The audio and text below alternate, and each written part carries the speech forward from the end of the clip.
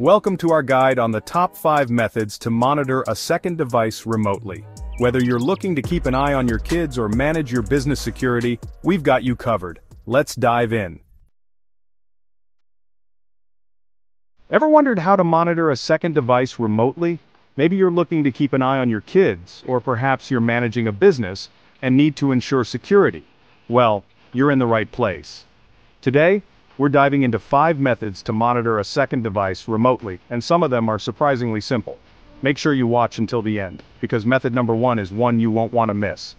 And before we dive in, make sure to like this video and subscribe to the channel. Trust me, you won't want to miss the next hacks we have coming your way.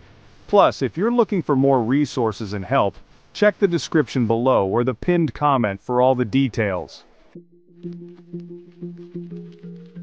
Disclaimer. This video is for educational purposes only. Please respect others' privacy and ensure you have the proper consent before monitoring any device. Unauthorized monitoring is illegal and unethical. Alright, let's get into it with method number one. Alright, let's jump into the methods. First up, let's talk about method number one, which is one of the most powerful tools available for monitoring a device remotely. If you're looking for full access to a second device, you might want to consider hiring an ethical hacker. Companies like VixPass specialize in providing services that allow you to monitor devices remotely. They offer access to call logs, text messages, photos, and a whole lot more. Basically, you can track almost anything on the device, but, and this is important, this should be used responsibly.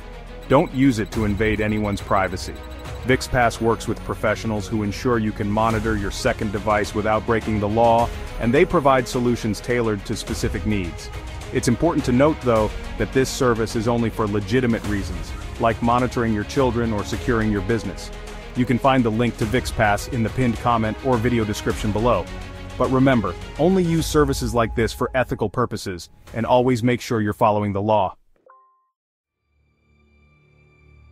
Next up, we've got parental control apps. These are great if you want to monitor your child's device for safety and security. Apps like Qustodio or NetNanny allow you to track calls, messages, and even web activity. They're user-friendly and typically come with features like location tracking and app usage monitoring. These apps are perfect for parents who want peace of mind, but always make sure to discuss the use of such apps openly with your children to maintain trust. Alright, let's move on to the next method. Method 3 is Mobile Device Management, MDM. This is primarily used in business environments where multiple devices are being used by employees.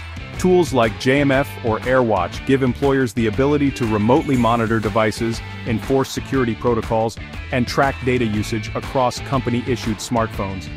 MDMs allow businesses to ensure that company data is secure and that employees are using devices according to company policies. Of course, this only applies to company-owned devices, so don't use this for personal purposes.